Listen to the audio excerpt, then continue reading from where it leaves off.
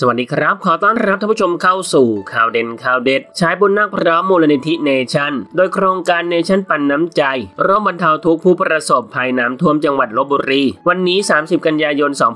2564 มูลนิธิเนชั่น โดยโครงการเนชั่นปันน้ำใจ ที่วันนี้ได้ลงพื้นที่เพื่อร่วมติดตามสถานการณ์น้ำท่วมในพื้นที่จังหวัดลพบุรี โดยเฉพาะอำเภอบ้านหมี่ในขณะที่ปริมาณน้ำยังท่วมสูง และวันนี้ทางด้านฉายบุนนาคประธานเจ้าหน้าที่บริหารบริษัทเนชั่นมีเดียกรุ๊ปจำกัดมหาชน ตัวแทนจากมูลนิธิเนชั่นนำทีมลงพื้นที่ที่จังหวัดลพบุรีนำถุงยังชีพกว่า 200 ชุด ไปแจกจ่ายพี่น้องชาวอำเภอบ้านมี ที่กำลังประสบอุทกภัยน้ำท่วมในพื้นที่ด้วย ถือเป็นการเริ่มต้นโครงการเนชั่นปันน้ำใจ ที่พร้อมส่งมอบทุกความช่วยเหลือให้พี่น้องคนไทยที่เดือดร้อนอีกครั้ง และเพื่อให้เข้าถึงสภาพปัญหาอย่างแท้จริง ตลอดจนเร่งระดมให้การช่วยเหลือพี่น้องประชาชนได้แบบทันท่วงทีพระสุดทางฉายบุญนาประธานเจ้าหน้าที่บริหารบริษัทเนชั่นมีเดียครบจำกัดมหาชน พร้อมทีมงานลงพื้นที่จังหวัดลบบุรีและให้สัมภาษณ์ในใจความระบุว่า วันนี้ลงพื้นที่มาตำบลบ้านซ้ายอำเภอบ้านมีนำถุงยังชีพจำนวน 200 ชุดมาแจกให้พี่น้องประชาชนเพื่อช่วยเหลือผู้ประสบอุทกภัย ซึ่งเป็นหนึ่งในโครงการเนชั่นปาน้ำใจ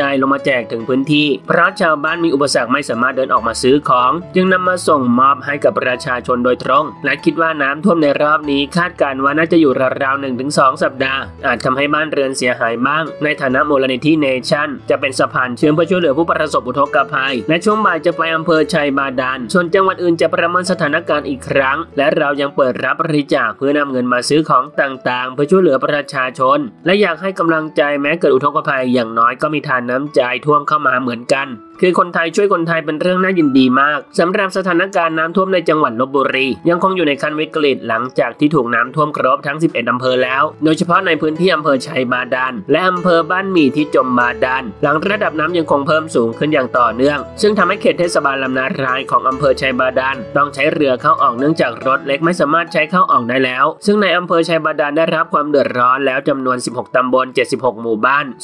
4,564 ครัวเรือน อย่างไรทางเราก็ขอเป็นกำลังใจให้กับทุกๆท่าน ในทุกๆ พื้นที่ที่ประสบอุทกภัยขอให้กลับสู่สภาวะปกติโดยเร็วนะครับท่านผู้ชมละครับ มีความคิดเห็นอย่างไรกับเรื่องนี้ลองแสดงความคิดเห็นกันเข้ามาดูนะครับ ขอขอบคุณข้อมูลจากทีนิวส์ขอบคุณครับ